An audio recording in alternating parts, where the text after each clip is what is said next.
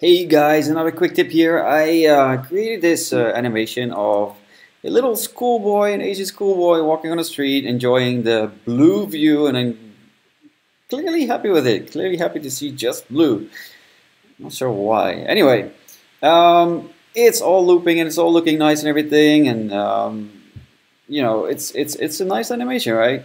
Um, the thing is, when I made this loop, it wasn't like this Actually, what happened is that this little this little boy he just disappeared every other couple of seconds, just completely gone for a fraction of a second, and that's not what I wanted. So it was clearly a glitch in the loop, but I didn't know where, and um, I looked online, I looked everywhere, and, and I figured it out, guys. I have the solution. So if you have a problem like this as well, then uh, please pay attention because I'm going to show you right now how it's done. So uh, let's get rid of this uh, little schoolboy right here.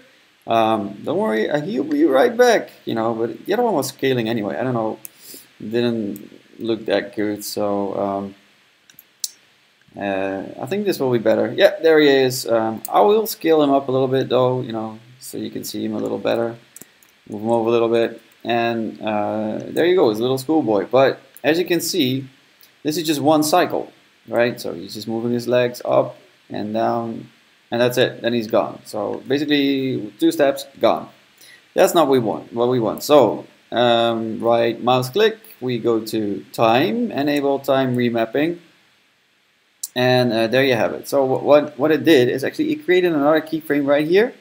Uh, you stretch it out all the way to the back, um, and you hit the stopwatch, pressing Alt, and then choose this property.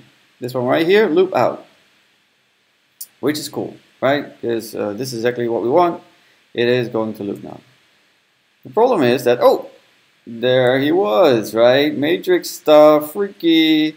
Um, and there again, you know, this is not what we want. I mean, is cool. That he's walking and he's doing the whole cycle and everything. Um, but he shouldn't disappear. He should just stay with us, right? So um, I looked it up online uh, as I do always when I run into stuff like this.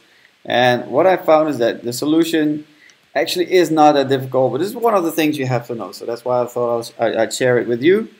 Um, so here we go. I hope I'm doing it right. Um, actually, what I want to do is create another keyframe just right in front of the, the second keyframe there, right? So I'll just go back one step and create another keyframe, then move one step forward to the keyframe that was already created and then make that all zero. And there he is, he's back. Okay, let's see if it works. Uh, I'll hit the space bar to get this thing going again. Bear with me, it is a little slow because I'm recording and my computer can't really handle all that kind of stuff, but there he is. He's staying, he's here to stay, right? Yeah, let's, um, let's enjoy him walk for a little bit and you'll see that he's not going to disappear.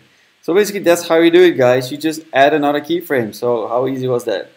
Um, I hope this solves your problem as well. If you if you ran into this, I know how frustrated it can be, uh, how frustrating it can be. You know, I, I was just I was so angry when I, I ran into this, but finally I got it fixed, and um, our little dude is just uh, happily walking forever and ever and ever, or until I tell him to stop. Uh, so if this was helpful, please like if you like this kind of stuff. Uh, subscribe. You know, I'll make little short videos like this from now on. I, I made three so far, and this is just the beginning. Um, if you created anything, just share it with me as well. I would love to see what you make, and uh, I'll see you in the next one.